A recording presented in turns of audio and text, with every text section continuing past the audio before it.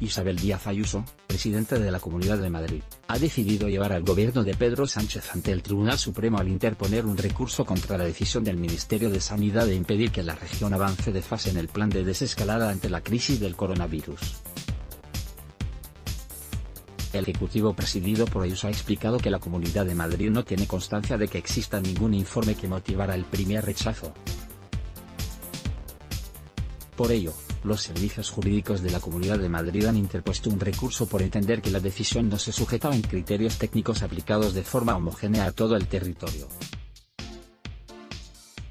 Además, la Comunidad de Madrid anuncia en relación con la primera solicitud de cambio a la fase 1, la Comunidad de Madrid no tiene constancia de que exista ningún informe que motive el rechazo a la petición de progresión, lo que podría suponer un defecto grave.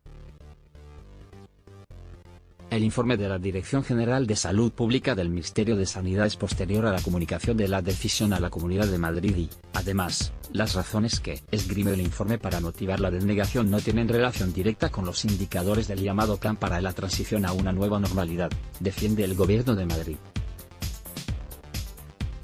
La Comunidad de Madrid también afirma tener dudas razonables acerca de que los indicadores se estén aplicando de manera homogénea para todas las comunidades autónomas por parte del Ministerio de Sanidad.